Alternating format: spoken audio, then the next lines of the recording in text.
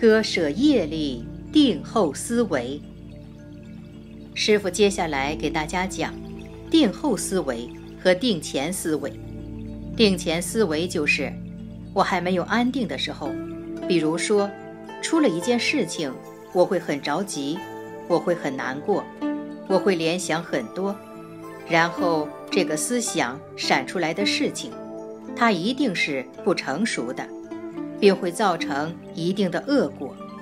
如果定后，什么都想明白了，什么都想对了，什么都想通了，看破了，放下了，本质上和定前思维有区别了。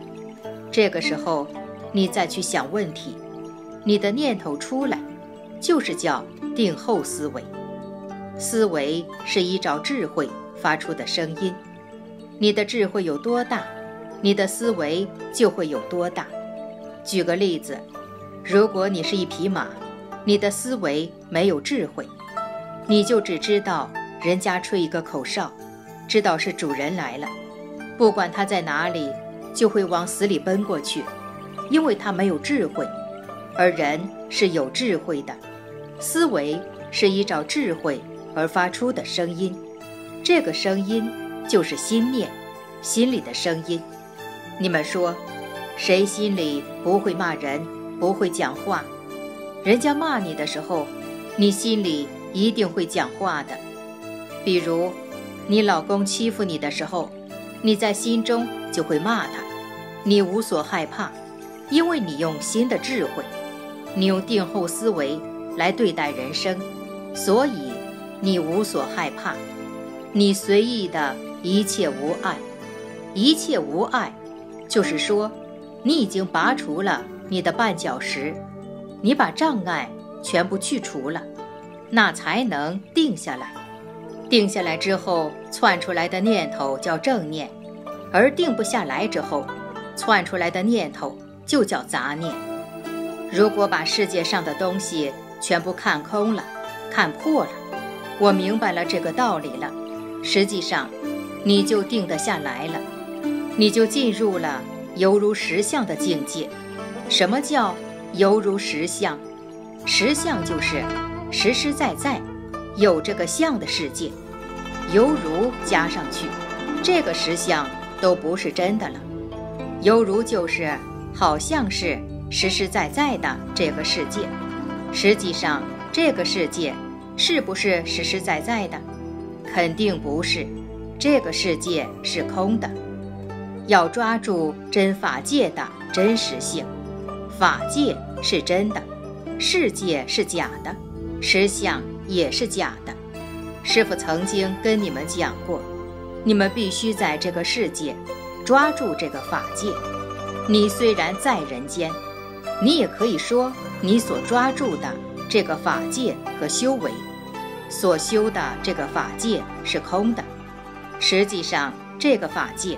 是真实存在于这个世界上的，也就说明你已经修到一个阶段了。但是，你真的要修出这个三界之外，你可以说，连这个法都是空的。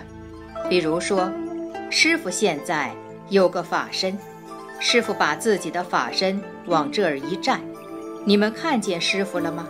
看见了。那么我真的在这里。法身在这里，你们看见这是假的吗？是法身吗？在人世间，可以说这个已经是很好的了。但是，真正超脱三界外，连这个身都是假的，什么都没有了。所以佛法是理解宇宙万物真相的真法。如果你抓住了它的真实性，你坚持理念不放。就是坚持好好修心，碰到任何问题都能够解脱了。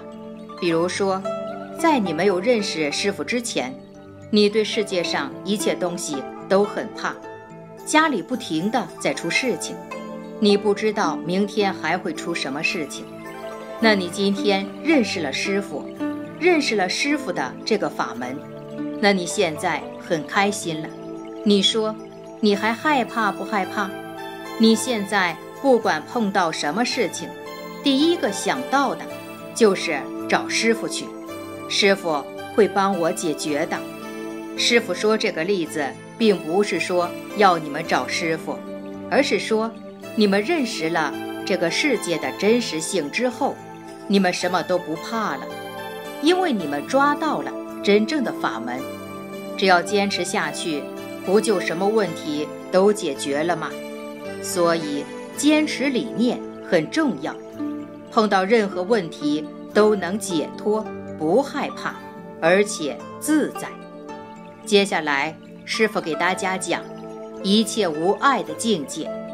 一切众生，一切世界万物都是有爱的，就是有阻碍的，有障碍的。比如说，你在人间会身体不好，你的东西会坏掉，你想做任何事情都是有障碍的。如果你现在变成了无爱的境界，就是说，你做什么事情都没有障碍了。用人间语言讲，就是一路顺风。等到你一路顺风、没有障碍的时候，你就是学大乘佛法。小乘佛法是救度自己，大乘佛法是救度众生。举个例子，我今天帮助这个，帮助那个。所有的朋友，我都尽力去帮助。这些朋友在很多不同的岗位上，有的是医生，有的是律师，有的是官员。你说，我要做什么事情有没有障碍啊？我救了这么多的人，这么多的人反馈回来帮助我，你说，我还会有什么障碍去做任何事情吗？这就是大乘佛法。你救度的众生越多，你的功德越大，你的人天福报也大，你做所有的事情都没有障碍。师父告诉你们，一定要记住：如果你有智慧，就达到无碍了。无为就是没有作为，什么事情都不要去做，无为而达到另外一个境界，那是什么？叫开解，开解是什么意思呢？开解就是碰到一个问题，你就解开了；你碰到事情，你就解开了。那你还有什么问题呢？经常碰到问题，开解了，然后无爱了，有智慧了，慢慢的，你的整个灵魂就转化了。转化之后，达到最后一个很粗浅的境界，叫理悟。即理解的悟出这个道理，就是理解的开悟，而不是真正的开悟。真正的开悟还要难。从另外一个角度来讲，你们从理论上理解了它，你悟出了这个道理，但你们还没有行啊。所以修心和修行有两种。接下来，师傅给大家讲解人间的神通力。人间不是都有神通吗？师傅有神通，大家都知道。那么你们有没有神通呢？神通力每个人都有，能够知道别人想什么，就是神通；能知道自己的孩子想吃什么，也是神通。如果能知道我今天讲话，下面有没有人听，人家会不会站起来走，也是神通。神通力又称为被舍之道。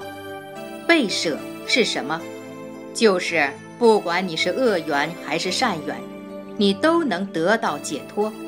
好事来了，善缘来了，我能解脱；坏事来了，恶缘来了，我也能解脱。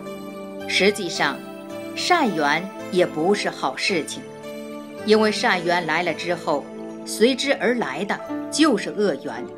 比如说，谈恋爱的时候就称为善缘，两个人山盟海誓很开心；结婚之后，慢慢的就变成恶缘了，两个人打啊、吵啊、闹啊，善缘和恶缘都要得到解脱，你这个人才能真正的解脱出来。神通力要能割舍，师傅这个神通和现在。给你们讲的这个神通是不一样的。你们的神通就是说，你有这个能力，有这个神力，有这个通力，想把人世间的事情做得顺利一点。师傅现在指的是这个神通。你们能不能把自己的烦恼割掉？烦恼刚刚一来就慌了手脚，都不知道怎么应付，要么掉眼泪。师傅曾经给听众讲过一句话：“你想了解这个世界的真相吗？你的眼泪就是在让你了解这个世界的真相。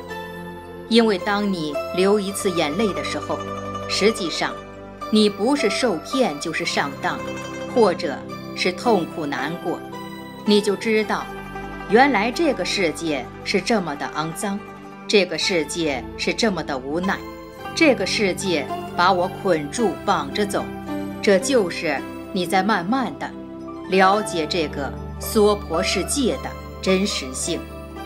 现在，师傅给你们讲的也是这个道理，要解脱，要割舍自己的烦恼。要割舍业力的纠缠，业力的纠缠很麻烦。比如，明明不想要的，非要不可；明明不想看的，非要看看；明明爱的人要离开你；明明可以拿到你手上的钱，没有拿到。你们知道，有很多故事说的是六合彩。有一个人买了两张彩票，其中一张送给了隔壁邻居。没想到开奖之后，两家就视为仇敌了，因为邻居中奖后一分钱也没有给他，从此以后他就没有笑容了。就是你们这些人，如果买了彩票后送给人家，人家中了一千万，你也要不开心半个月。再有功力的人，至少也要一个星期不停地讲这件事情，见人就讲。就是一种发泄，就是抒怀，把心中的烦恼要讲出去，这也是一种烦恼。现在的人，自己不开心的事情，让别人也要不开心，这就叫感染力。我今天不开心了，我要一个一个讲，讲的大家都为我不开心。你们看，现在人的私心到了什么程度了？师傅给你们讲的都是人间佛法，大家要记住，无论如何不要被自己的业力纠缠，要得解脱。业力是什么？今天灾难来了，实际上就是你的孽障来了。现在你们聪明了，可以念经了，可以修心了，可以解脱一点人间烦恼。问题是，你们还是。要割舍掉啊！你在念经的时候，还在想这些痛苦的事情。你想割舍这些事情的时候，你必须完全割掉，再加上念经还债，你就成功了。问题是，你一边在念经，你脑子里还是割不掉啊。